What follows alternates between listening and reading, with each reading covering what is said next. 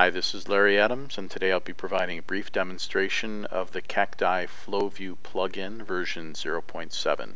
This plugin is designed for Cacti 0.87G and above, and of course it is a plugin 2.0 architecture plugin. And before we get into the features, I'd like to just give you an overview of the uh, actual interface uh, from a plugin management perspective first. So I, we can see here that the FlowView plugin is installed and enabled and that it is at version 0.7. In this version of FlowView we've introduced a new realm so we now have a viewer realm and an admin realm. Uh, we've also moved the navigation off of the console to the main navigation tabs at the top and you can see here we have the flows tab, which is where we'll be doing most of our work today. There is a backend component that needs to be set up as well, and that backend component is the flow tools.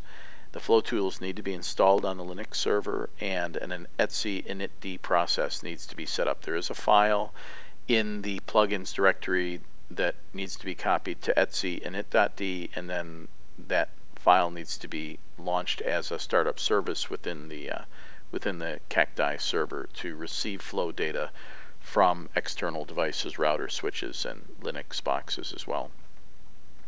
In this demonstration site, I have a tool called SoftFlowD running on my Debian Linux box, and it's forwarding information over a UDP port to the Cacti box and storing that data away. So let's talk a little bit about this interface now. We have uh, the same look and feel generally from prior versions of FlowView. So we have uh, a sub-tab interface which is which is fairly popular with uh, most Cacti plugins these days. And the sub-tabs you have filters, which is where you set up and launch your reports from. You have listeners, which is a rename from prior versions of FlowView. A listener is a UDP port that's receiving information from one to many uh, FlowView devices, again, router switches, etc.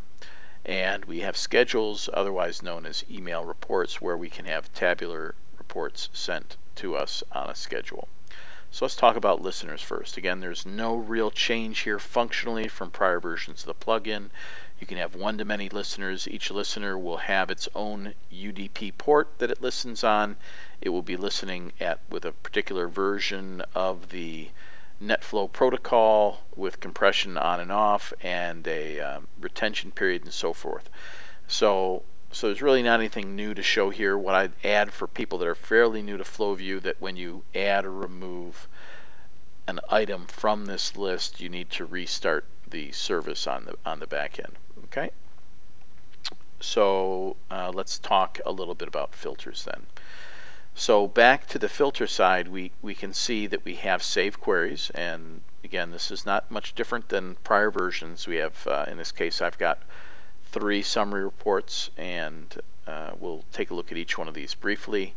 And the interface is essentially the same. Uh, there's been a little bit of renaming going on here. There's been a few things converted from text boxes to drop-down boxes the intent here is that the user of this tool is going to know a little bit about how to generate FlowView reports. So they're going to have some experience with the tool. So without uh, much more ado, let's take a look at some output.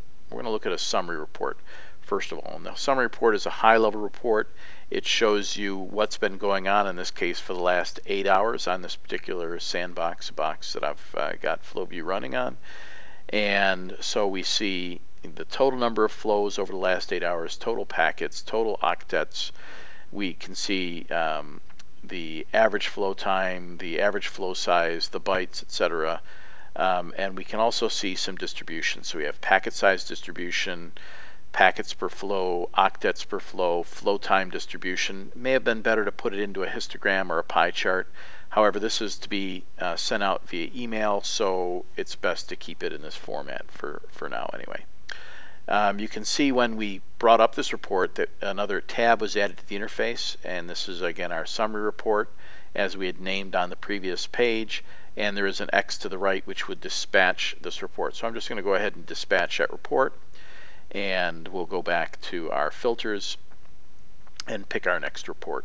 And this time we're going to go to testing 124. And this is a source destination IP report. It's showing the top 20. Let's just make it the top 10 for today. And I'm going to go ahead and view that. So here we can see the top 10 by traffic. Uh, this is a just a simple table. Uh, it is sortable, so we can sort by flow, by bytes, by packets, and so forth.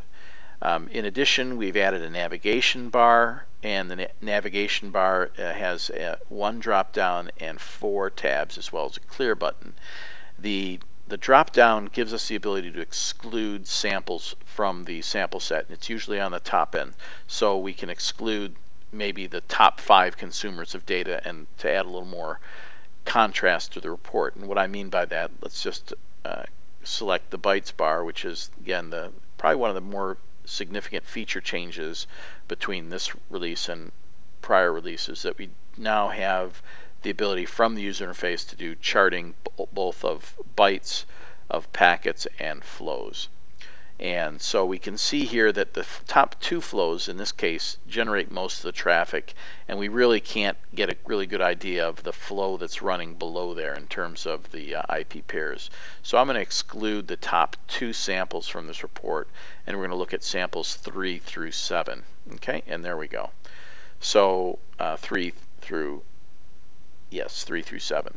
So, so here we go. Now we've got a little more contrast. We get a little more information in the report, a little more viewable. Um, and again, we have our packets bar as well as our flows bars. And I'll just scroll down so you can get a, a look at those. Okay. So again, this is by IP address uh, pairs. This can be converted to DNS if that's your choice uh, as well. And we still have our table at the bottom. And you can see here that uh, we've, again, as mentioned before, we have the additional tabs. I'll bring up the summary just uh, so you can see that the, uh, the tabs are functional. And these tabs basically will stay in place for roughly five minutes. After five minutes, the, uh, the data will be rather cached for approximately five minutes. After that, it'll regenerate the data and go, go to the back end. But to because some of these reports take quite a while to generate, we put a timer on, on that cache just to reduce the I.O. on the server. So you can see we have the testing 1234 report as well as the summary report now on the page. Okay, so the last thing we're going to take a look at is the email schedules. This is fairly straightforward. We have the concept of one-to-many schedules uh, and the schedule has a name, it's enabled, it you can pick one of your filters. You can see these are the filters from the prior page. It can we have a frequency, a time at which it's supposed to be uh, sent out, and the email address. In addition, from the uh, schedules, if you select a report, you can hit the send button, and that email will then be sent out immediately. And just to uh, give you an idea what these reports look like, um, I have a sample report right here so that you can see what those reports end up looking like. Okay? So that concludes this demonstration of the Cacti FlowView plugin. Have a nice day.